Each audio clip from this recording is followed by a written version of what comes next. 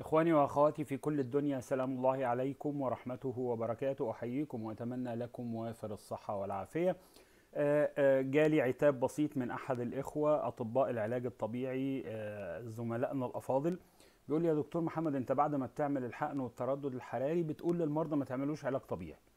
تمام؟ فأنت ليه. ليه بتهمل دور العلاج الطبيعي؟ أو ليه أنت مش مقتنع بدور العلاج الطبيعي؟ لكن هي دي مش دي الحقيقة بصراحة.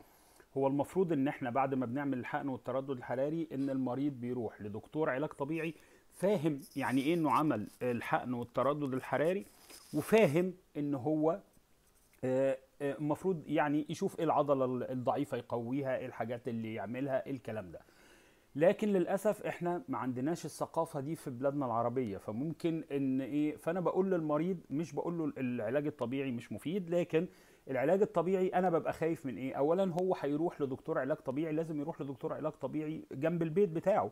فلو هو جاي من السفر أنا ما أعرفش دكتور العلاج الطبيعي ما أعرفش دكتور العلاج الطبيعي عنده الثقافة بتاعه إنه ده فاهم إن ده عمل حقن أو تردد حراري فبقول له بلاش تعمل العلاج الطبيعي من باب الاحتياط علشان ما يحصلش أي مشكلة.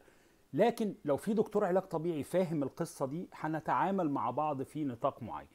فهو مش غلط لكن أنا بخاف إن المريض يروح لدكتور يعمل له علاج طبيعي هو مش فاهم إن هو عمل حقن وتردد حراري فيبوظ الدنيا فيبتدي الألم يزيد فيفسد علينا الحقن والتردد الحراري. فببقى خايف من النتائج دي. لكن العلاج الطبيعي في حد ذاته مش ممنوع بعد الحقن والتردد. فهنخلي عندنا قاعدة كده المريض لو انت عندك دكتور علاج طبيعي ثقة انت بتثق فيه روح له. مفيش أي مشكلة خالص إنك تروح لدكتور العلاج الطبيعي دوت.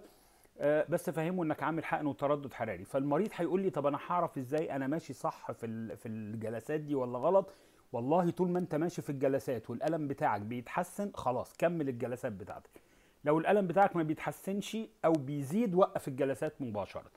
يبقى الفكرة مش إن العلاج الطبيعي ممنوع بعد الحقن والتردد لكن الفكرة هو نلاقي دكتور علاج طبيعي يبقى فاهم إيه معنى الحقن والتردد فيساعدك بعد الحقن والتردد يزود التحسن مش يفسد علينا الحقن والتردد. أتمنى تكون الفكرة وصلت. سبحانك اللهم وبحمدك.